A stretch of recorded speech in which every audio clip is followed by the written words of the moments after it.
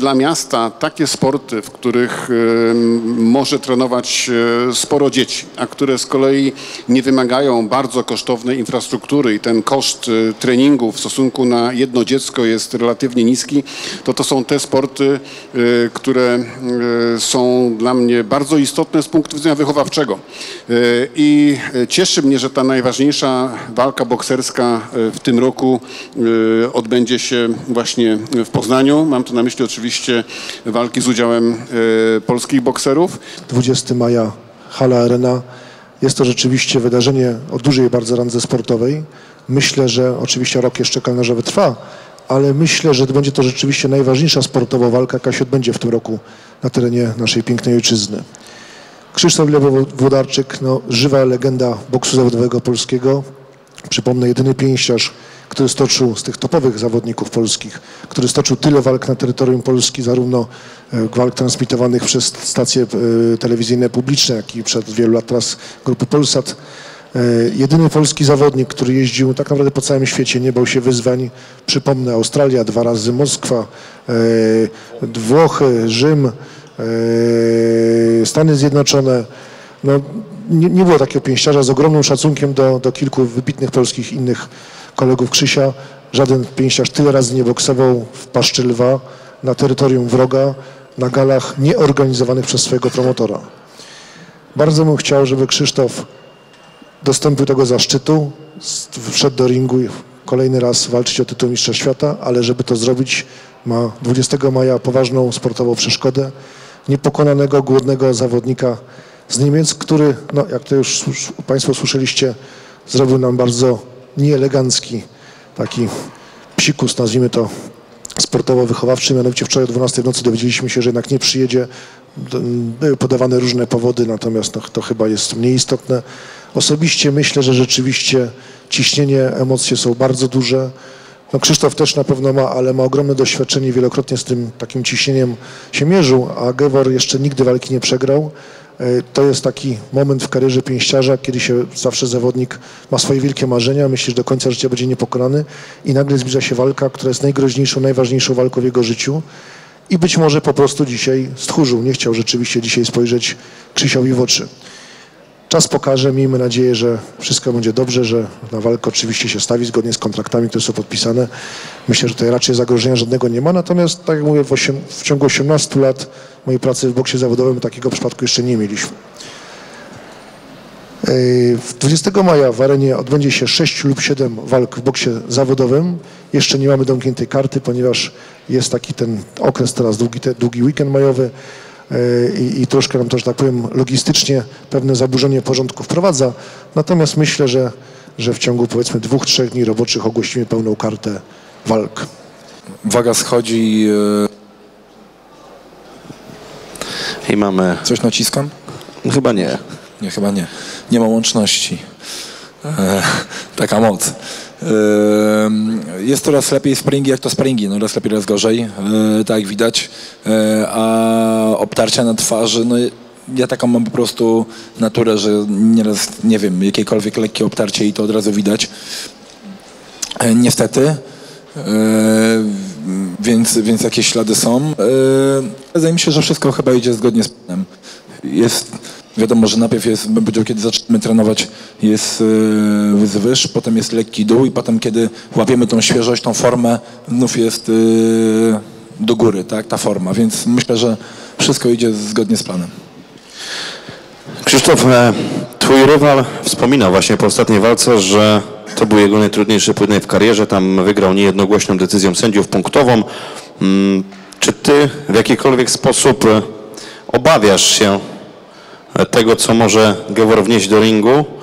Czy to będzie raczej zawodnik, który będzie po prostu kolejnym przystankiem w drodze do kolejnego mistrzostwa, bo niemieckie, niemieckie media piszą o tym, że no, dla ciebie jest to już ostatnia prosta kariery, a my jesteśmy jednak w Polsce przekonani, że to jest kolejny etap i ta kariera jeszcze troszeczkę potrwa.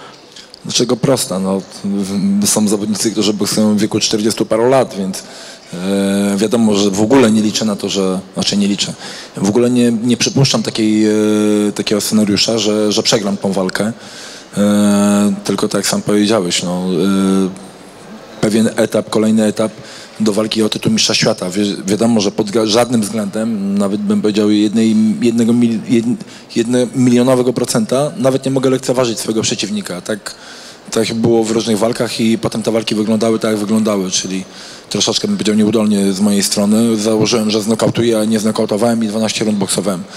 E, teraz wychodzę 100% można powiedzieć na, naszykowany na dobry boks, na, na to co, co robiłem, na, na to co jest u mnie e, najlepsze, e, to co, to co robię od lat.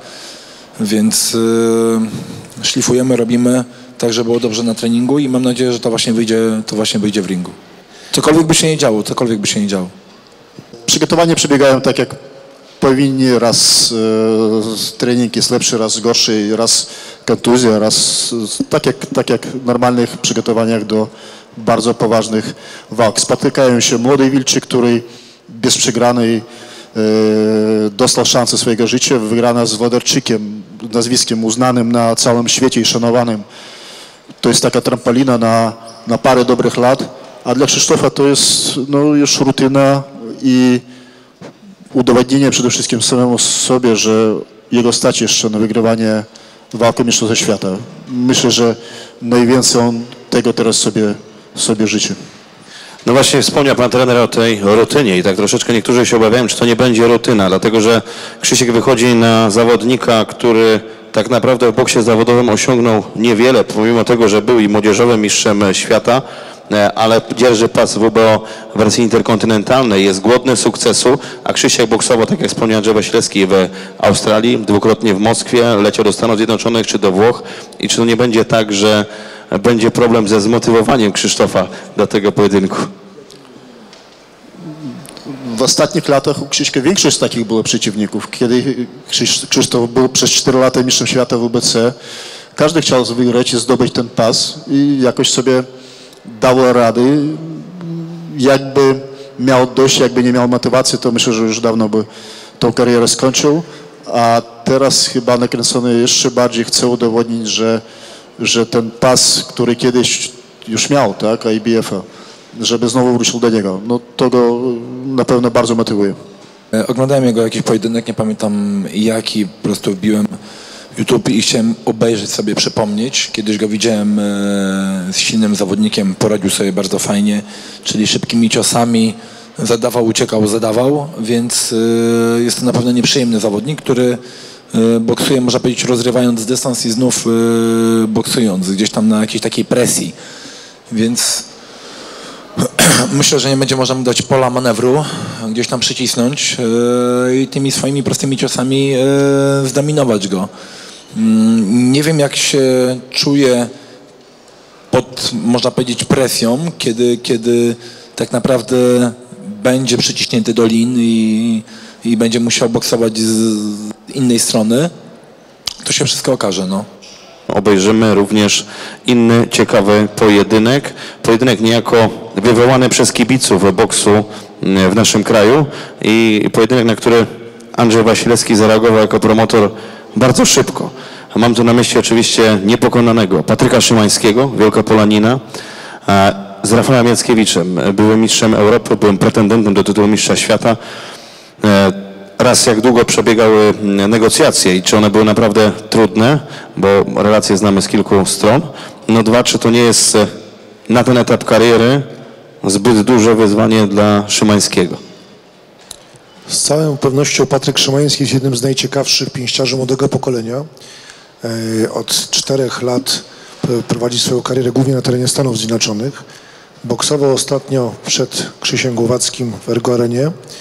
No i miał bardzo słaby występ. Walkę swoją wygrał, natomiast y, nawet część kibiców w internecie twierdziła, że nie był specjalnie lepszy od swojego przeciwnika. Patryk tę walkę bardzo przeżył. Miał po tamtej walce już znowu wrócić do kontynuowania swojej kariery w Stanach Zjednoczonych. Natomiast prosił mnie, że jeżeli będzie możliwość, chciałby pokazać się polskim kibicom w Polsce z znacznie lepszej strony, żeby ta, że tak powiem, pamięć o tej walce wrześniowej no, jak najszybciej, że tak powiem, się zatarła. No i w, równocześnie Rafał Jackiewicz, 54 karierę prowadziliśmy przez wiele, wiele lat. Wspaniały sportowiec, e, zbliżający się oczywiście zdecydowanie już do końca swojej kariery, ale bardzo utytułowany, absolutnie urodzony wojownik we wszystkich sportów walki. e, zadał mi pytanie, czy, czy, czy ja nie mam dla niego jakiejś takiej walki, bo powoli będzie kończył. Z Rafałem generalnie na świecie nie za dużo pięściarzy chce boksować, ponieważ no, wygranie z nim już dzisiaj nie bardzo na świecie daje jakiś, że tak powiem, wielki bonus. Natomiast no, trzeba bardzo uważać, żeby tej walki nie przegrać z Rafałem. To są tacy zawodnicy, są różnie nazwani w boksie, spoilerami, testerami. Yy, I to się zbiegło mniej więcej w jednym czasie. Nagle się pojawiły głosy w internecie, na portalach bokserskich, że zamiast przywozić jakiegoś zawodnika dla Patryka Szymańskiego, na przykład nie wiem, z Belgii, Francji czy z Niemiec, to może lepiej sprawdzić, czy rzeczywiście Patryk już z tego swojego wieku młodzieńczego powoli wychodzi, a doskonałym testerem jest inny pięściarz polski, właśnie Rafał Jackiewicz. Dlatego jak przeczytałem to w internecie, rzeczywiście natychmiast wykonałem telefon do Rafała, Rafał, jak to Rafał, Rafał się nikogo nie boi, zadał pytanie konkretne. Andrzej, ja generalnie się zbliżam powoli do końca kariery, wiesz, że ze mną nikt łatwo nie wygra, że każdemu mogę napsuć krwi i mogę walkę wygrać, ale dzisiaj boksuję dla pieniędzy, więc powiedz mi, jaka jest twoja oferta finansowa. Ja absolutnie bardzo chętnie się podejmę i uprzedzam, że dam się wszystko, żebyś nie miał pretensji, jeżeli to walkę wygram. E, następnie odbyłem rozmowę z Patrykiem Szymańskim, bardzo krótką. W związku z tym to całą sprawę udało się rzeczywiście zamknąć pewnie w ciągu 24 godzin i myślę, że polskich kibiców, nas wszystkich czeka naprawdę bardzo ciekawy pojedynek zupełnej młodości, z wielkim doświadczeniem, z bardzo utytułowanym pięściarzem walką, walką która nam odpowie, gdzie rzeczywiście dzisiaj Patryk Szymański jest. E, Patryk w tej chwili przygotowuje się na Florydzie. Myśmy zrobili błąd ostatnią walką Patryka, to właśnie nie udano, przygotował się tylko w Polsce. Może akurat jest to pięściarz, który potrzebuje innych warunków do przygotowań. E, w każdym razie tym razem tego błędu nie powtórzyliśmy. Patryk na Florydzie przez 6 czy 7 tygodni do tej walki się przygotowuje, przyjedzie dopiero kilka dni przed walką i bardzo, bardzo, bardzo cały czas twierdzi, że musi zmazać tę plamę, którą, że tak powiem, miał tą słabszą jedną walką, którą zresztą jedną jedyną w ostatnich latach, którą był w Polsce, tak się akurat złożyło. Prosił, żeby wszystkich kibiców bardzo serdecznie pozdrowić, powiedział, da siebie wszystko, urodzony w Koninie, zamieszkały w Poznaniu, czuje się już dzisiaj absolutnie mieszkańcem, Rodowitek, mieszkańcem Poznania i, i, i mówi, że, żeby przekazać Państwu, że zapraszam na swoją walkę, że pokaże, że jest naprawdę czołowym pięściarzem świata w swojej kategorii wagowej. Że Diablo 20 maja swój pojedynek wygra, zostanie oficjalnym pretendentem dla Murata Agasiewa. E, jak dobrze wiemy, Murat jest e, promowany w Stanach przez Leona Margulesa, czy jest szansa, żeby ten pojedynek, pojedynek mistrzowski, kolejny pojedynek mistrzowski odbył się w naszym kraju. W zeszłym roku Krzysztof Głowacki bronił swojego pasa w walce z Aleksandrem Usykiem. Na pytanie, czy zobaczymy jeszcze diabła w tej mistrzowskiej walce nad Wisłą. Przyznam szczerze, po tylu latach pracy w boksie zawodowym, że nauczyłem się pewnej pokory. Yy, niedobrze jest staramy się tego nie robić, wybiegać myślami naprzód. Na razie się absolutnie koncentrujemy w 100% na najbliższej walce. E, marzymy oczywiście o zwycięstwie Krzysztofa, jeszcze lepiej o efektownym zwycięstwie Krzysztofa. E, a jak Krzysztof wygra, no to tak jak wszyscy już Państwo wiecie, nabędzie prawa tak zwanego, tak zwanego obowiązkowego challengera i aktualnie panujący mistrz świata Murat Gassiev będzie musiał przystąpić do walki z Krzysztofem bodaj do połowy września ale teraz mamy absolutną koncentrację z wszystkich sił, każdą myślą. Y, cała koncentracja jest na najbliższej walce 20 maja Arena w Poznaniu, u Państwa w mieście.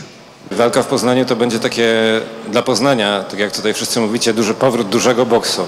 Mm, czy ty możesz w jakiś sposób zachęcić ludzi, poznaniaków, żeby przyszli? Co możesz im obiecać? Co mogę obiecać? No, mogę obiecać to, że przygotowuję się na 100%. Mogę obiecać to, że będę starał się pokazać w ringu jak najlepiej, jak tylko potrafię za dawnych lat. E, wiadomo, że po tej takiej dosyć długiej przerwie miałem e, trzy walki, dwie były jakie były szybkie, krótkie. W ostatniej można powiedzieć się troszeczkę męczyłem, ale to bardziej ze względów gdzieś tam mentalnych. E, inaczej sobie ustawiłem jakby walkę i, i tak się toczyła. Wszystko zależy od tego, e, już to robię. Jak sobie w głowie ułożę, tak, tak będzie po prostu. I, I, staram się tak właśnie układać, żeby wyjść do tego ringu i zrobić to, co, to, co potrafię najlepiej. Boksować najlepiej, wygrać walkę najlepiej przed czasem. E, tak tutaj pan prezydent mówił, no oczywiście nie w pierwszej rundzie, ale w jakichś innych. E, ale żeby, coś, żeby też coś pokazać publiczności, tak, można powiedzieć, fajny boks. E, pracuje bardzo ciężko, więc mam nadzieję, że będzie na co naprawdę popatrzeć. Nie tylko na mnie, ale jak i na, na kolegów, którzy, którzy też naprawdę pokaza, pokażą wspaniały boks. Czy ktoś następny, szanowni państwo? Proszę. Dzień dobry, ja nazywam się Radosław Laudański i mam takie pytanie do pana promotora Andrzeja Wasilewskiego. Czy jeśli Krzysiek y, zwycięży z Geworem, czy jest szansa na pojedynek y, z Muratem Gasijewem jeszcze w tym roku o pas IBF?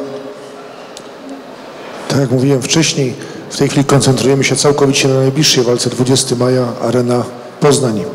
Natomiast no, jeśli chodzi o pozycję rankingową, o prawa, które e, są do, do, do wygrania w tej walce, to są właśnie prawa stania się obowiązkowym challengerem e, do walki z Muratem Gasijewem i według przepisów e, IBF-u ta walka powinna, zwycięzca walki Włodarczy Gewor powinna się odbyć teoretycznie do połowy września. IBF, Noel Gawor, Krzysztof Diablo, Włodarczyk. A to wszystko dzięki wielkiemu sercu włodarzy Poznania na czele z prezydentem Jackiem Jaśkowiakiem, któremu serdecznie dziękujemy. Poznań Boxing Night 20 maja 2017 roku.